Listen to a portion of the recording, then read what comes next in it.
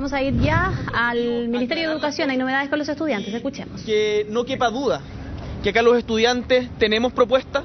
estamos disponibles para avanzar, pero el ministro se tiene que referir de una vez por todas a nuestras demandas y no solamente a la que una minoría del país que hoy día está en el gobierno es lo que pretende imponernos. El presidente en sus últimas declaraciones dijo que ya había terminado la etapa de discutir sobre educación.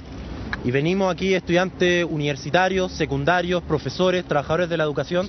para decir algo que estamos seguros para la mayoría de Chile es algo evidente, y es que todavía existen profundos problemas en nuestro sistema educacional.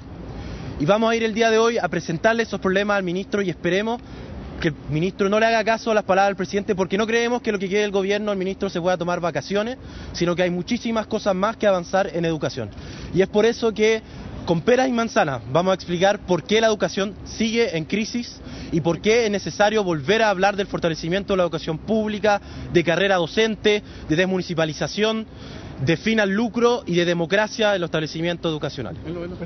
bajo el contexto actual en donde ya se ha aprobado la reforma tributaria, una de las bofetadas más grandes que se le ha dado al movimiento estudiantil, nosotros creemos que el día de hoy es fundamental dejar en claro que venimos a emplazar al ministro de Educación a que se pronuncie realmente con respecto a nuestras demandas, que son unas demandas que se han levantado por más de un año y medio. Creemos nosotros que la respuesta no puede seguir siendo la aprobación de proyectos que van en contra de lo que hemos demandado como estudiantes, el conjunto también de, de las comunidades educativas, sino también no puede seguir siendo la respuesta a la violencia, los desalojos, los abusos en contra de los estudiantes secundarios y también universitarios universitario.